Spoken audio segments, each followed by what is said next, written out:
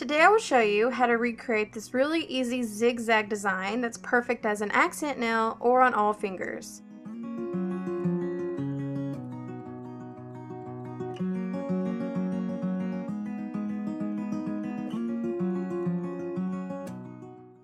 I started with two coats of a mossy tan colored polish and let it dry. Next, grab some acrylic paint in three to four different colors. I applied them to my palette in a row so it's easier to pick up each one.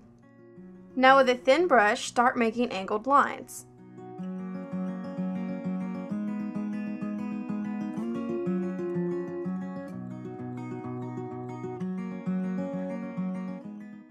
When you move to the next column, reverse the angle and order of the colors.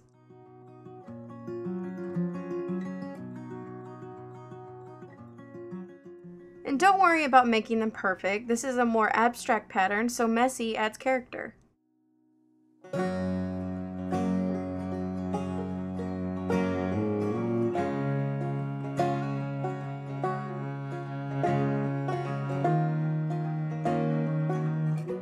Give your nails some time to dry and then apply your favorite top coat.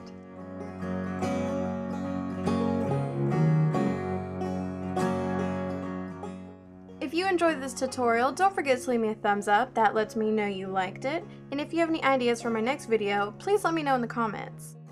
And if you missed my last tutorial, make sure you click that box right there, or if you're feeling lucky, try the random video. Thanks for watching!